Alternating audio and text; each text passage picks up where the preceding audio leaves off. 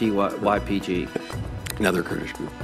Aren't they the military wing of the YP, PYD? Uh, uh, They are, yes. Is that right, General Dunford? That is correct. Reports indicate that they're aligned or at least have substantial ties to the PKK. Is that true?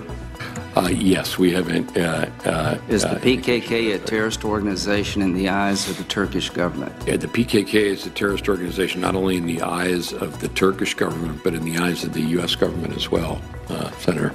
Is it surprising to you that the Turks may be upset with us by arming the YPG in Syria?